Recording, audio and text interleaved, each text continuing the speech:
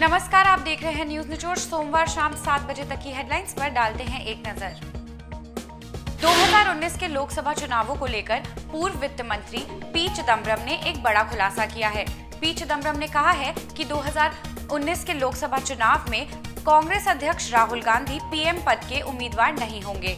चिदम्बरम के इस बयान से एक बार फिर राजनीति गर्मा गई है और माना जा रहा है कि महागठबंधन के लिए क्षेत्रीय दलों को लुभाने के लिए कांग्रेस ने ये फैसला किया है।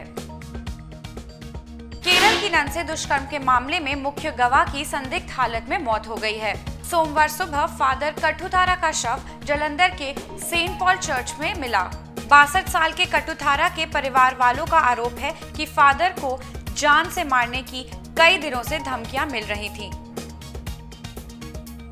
दिल्ली के फाइव स्टार होटल में गुंडागर्दी करने के मामले में आशीष पांडे को कोर्ट ने 14 दिन की न्यायिक हिरासत में भेज दिया है। आशीष पांडे पर पिस्तौल लहराने और जान से मार देने की धमकी का आरोप है। आशीष पांडे की रिमांड अवधि शुक्रवार को खत्म हो गई थी, जिस पर कोर्ट ने उसकी जमानत याचिका खारिज कर उसे सोमवार तक के लिए जेल भेज दिया था। लेकिन पटियाला हाउस कोर्ट ने आशीष को न्यायिक हिरासत में भेज दिया है। प्रदेश के विधान परिषद सभापति रमेश यादव के बेटे की हत्या के मामले में माँ मीरा यादव को गिरफ़्तार कर लिया गया है।